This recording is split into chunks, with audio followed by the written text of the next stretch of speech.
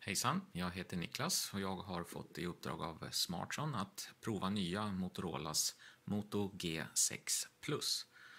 I den här färgglada lådan så ligger nu Motorolan, en lite större modell med en 5,9 tums skärm, glasbaksida och glasframsida.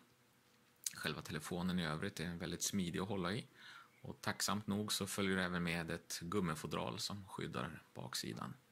Den här indigo-blå modellen jag fick var väldigt fin men naturligtvis så suger den åt sig fingeravtryck snabbare än man tror.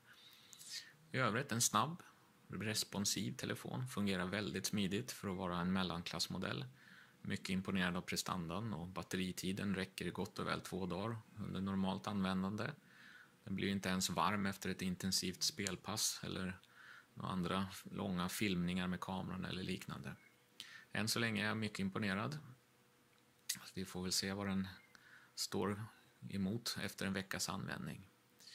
Som sagt var det är en full HD-skärm som går ända ut i kanterna och gör att man får en stor upplevelse av skärmen. Passar utmärkt att titta på Youtube och ljudet ifrån frontriktade eh, högtalaren är högt och tydligt och det är jag mycket tacksam för.